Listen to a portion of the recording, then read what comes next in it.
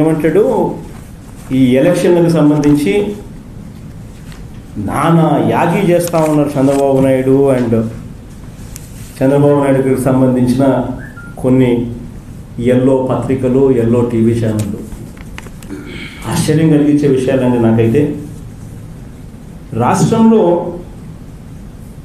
ఎంపీటీసీలు జెడ్పీటీసీలు రెండు కలుపుకుంటే పదివేల రెండు వందల నలభై మూడు చోట్ల పోటీ జరుగుతూ ఉంది అంటే తొమ్మిది వేల ఆరు వందల చిల్లర ఎంపీటీసీలు ఒక ఆరు వందల చిల్లర జెడ్పీటీసీలు.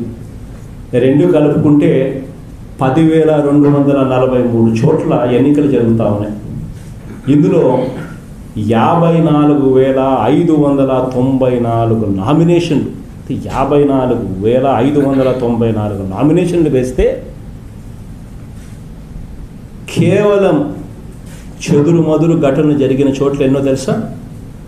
కేవలం నలభై మూడు చోట్ల మాత్రమే చెదురు మరుదురు చెదురు మదురు ఘటనలు జరిగాయి. కేవలం నలభై మూడు పదివేల రెండు వందల నలభై మూడు చోట్ల ఎంపీటీసీలు జెడ్పీటీసీలు జరుగుతూ ఉంటే కేవలం నలభై మూడు చోట్ల మాత్రమే చెదురు మధురు ఘటనలు. యాభై నాలుగు వేల ఐదు వందల తొంభై నాలుగు నామినేషన్లు అన్ని పార్టీల వాళ్ళు వేశారు. సిమిలర్లీ రెండు వేల ఏడు వందల తొంభై నాలుగు వార్డ్సు ఆర్ డివిజన్స్. రెండు వేల ఏడు వందల తొంభై నాలుగు వార్డ్స్ డివిజన్స్లో పోటీ జరుగుతూ ఉంటే ఎన్నికలు జరుగుతూ ఉంటే పదహైదు వేల నూట ఎనభై ఐదు నామినేషన్లు పడ్డాయి. రెండు వేల ఏడు వందల తొంభై నాలుగు వార్డులకు డివిజన్లకు ఎలక్షన్ జరిగితే పదహైదు వేల నూట ఎనభై ఐదు నామినేషన్లు పడినాయి ఇందులో చెదురుమదురు ఘటన జరిగింది కేవలం పద్నాలుగు చోట్ల. ఇందులో చెదురుమదురు ఘటన జరిగింది కేవలం పద్నాలుగు చోట్ల. అంటే రెండు వేల ఏడు వందల తొంభై నాలుగు చో చోట్ల వార్డులో డివిజన్స్ జరుగుతూ ఉంటే కేవలం పద్నాలుగు చోట్ల మాత్రమే చెదురుమదురు ఘటన జరిగింది. ఏ ఎలక్షన్లలో అయినా కానీ లోకల్ బాడీ స్థానిక ఎన్నికలు జరుగుతూ ఉంటే ఈ మేరకు ఎక్కడైనా జరగకుండా ఇంతకుముందు ఎప్పుడైనా ఎన్నికలు జరిగినాయా? ఇంతకన్నా ఎక్కువే జరిగాయి కానీ ఎక్కడైనా ఇంతకన్నా తక్కువే జరిగాయని చెప్పే పరిస్థితి ఎక్కడైనా ఉందా? ఒకసారి గుండెల మీద చేతులు వేసుకుని ఒక్కసారి ఆలోచన చేయమని అడుగుతా ఉన్నాను. ఒక విష ప్రచారం చేయడం ఒక రాక్షస క్రీడకు పాల్పడడం కేవలం మీకు నాలుగు పత్రికలు ఎక్కువ ఉన్నాయనో నాలుగు టీవీ ఛానల్ ఎక్కువ ఉన్నాయనో ఇంత దారుణమైన మనస్తత్వం కలిగి ఉండడం ధర్మమేనా? అయినా కూడా మా పోలీసుల గురించి నేను గర్వంగా చెప్తా. ఎక్కడా కూడా వాళ్ళు ఉపేక్షించలేదు. ఎనిమిది చోట్ల ఏకంగా త్రీ జీరో సెవెన్ సెక్షన్ల కేసులు కూడా పెట్టినారు. అంటే అటెంప్ట్ టు మర్డర్ కేసులు కూడా ఎనిమిది చోట్ల నమోదు చేసినారు. ఎక్కడా కూడా కేసులు ఎక్కడా కూడా పోలీసులు ప్రేక్షక పాత్ర వహించాల. They have done their duty with utmost sincerity ఎంత దారుణం అంటే అంత దారుణం. పోనీ యునానిమస్ గురించి ఒకసారి ఏకగ్రీవం గురించి మాట్లాడాల్సి వస్తే ఇది ఇంతకు ముందు ఎన్నికల్లో అంటే ఈ లోకల్ బాడీ ఎలక్షన్స్ కన్నా ఇంతకు ముందు లోకల్ బాడీ ఎలక్షన్స్ అంటే రెండు వేల పదమూడులో జరిగిన లోకల్ బాడీ ఎలక్షన్స్లో అప్పుడు ఇది ఈనాడు పేపరు. ఒక చదివి వినిపిస్తా. రెండు వేల పదమూడులో జరిగిన లోకల్ బాడీ ఎలక్షన్స్లో ఇదే ఈనాడు పేపర్ ఏం రాసిందో ఒక్కసారి చదివి వినిపిస్తాం. మండల పరిషత్ ప్రాదే ప్రాదేశిక నియోజకవర్గాల ఎంపీటీసీ ఏకగ్రీవాలలో తెలుగుదేశం పార్టీ సత్తా చాటింది. ఈనాడు రెండు వేల పదమూడుకు సంబంధించిన లోకల్ బాడీ ఎలక్షన్స్ ఈనాడు. సత్ మళ్ళా చదువుతా. మండల పరిషత్ ప్రాదేశిక ప్రాదేశిక నియోజకవర్గాలు ఎంపీటీసీల్లో ఏకగ్రీవాలలో తెలుగుదేశం పార్టీ సత్తా చాటింది. ఆంధ్రప్రదేశ్ సీమాంధ్రలోని పదమూడు జిల్లాల్లో మొత్తం రెండు వందల అరవై తొమ్మిది ఎంపీటీసీలు ఏకగ్రీవమయ్యాయి. ఇందులో నూట ఐదు ఎంపీటీసీలను తెలుగుదేశం కైవసం చేసుకుంది. డెబ్బై స్థానాలను వైకాపా దక్కించుకుంది. ఆంధ్రప్రదేశ్లో పార్టీ పరిస్థితి ఘోరంగా దెబ్బతిన్న నేపథ్యంలో కాంగ్రెస్ ఆరు స్థానాలకే పరిమితమైంది. ఉభయ కమ్యూనిస్టులు రెండేసి ఎంపీటీసీలు. భాజపా ఒక స్థానాన్ని ఏకగ్రీవంగా పొందింది. స్వతంత్రులు ఎనభై మూడు స్థానాలను చేజిక్కించుకున్నారు.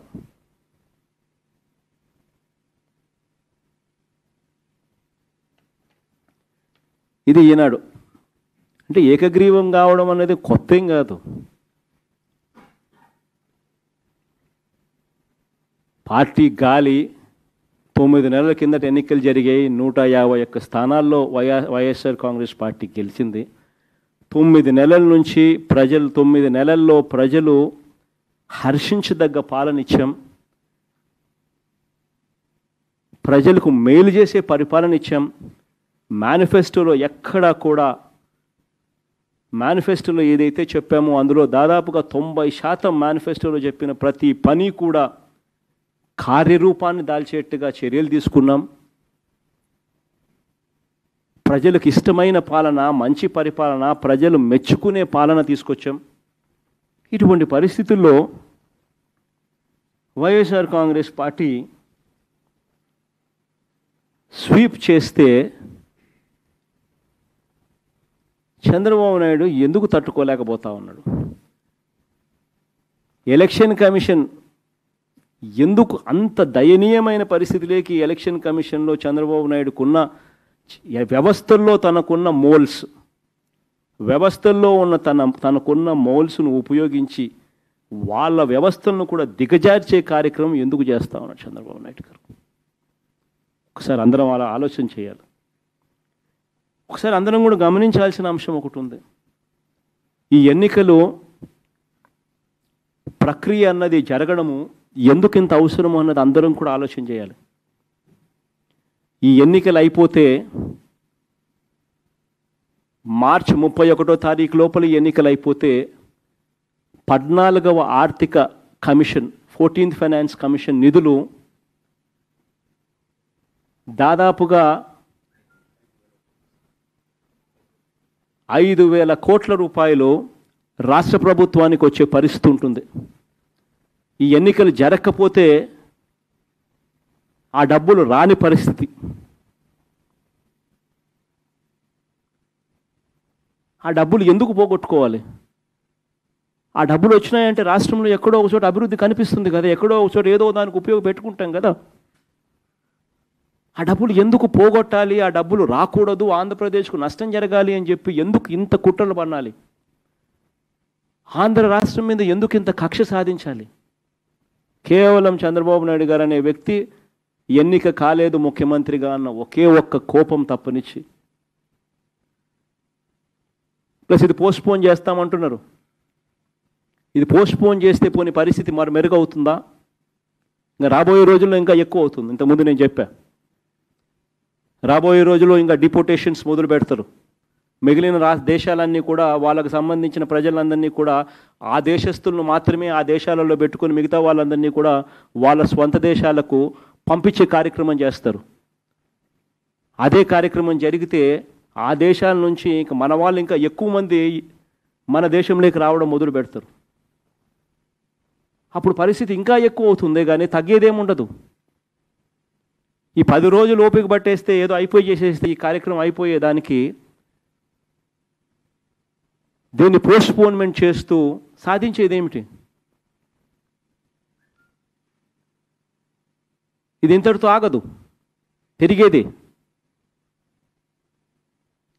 It becomes part of our life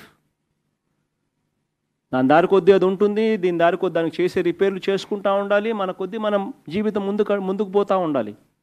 It becomes part of our life this is reality so ఇది కనుక పోస్ట్పోన్మెంట్ చేస్తూ పోతే ఈ సంవత్సరానికి సంబంధించిన నిధులు క్వశ్చన్ మార్క్లకు పడ్డమే కాకుండా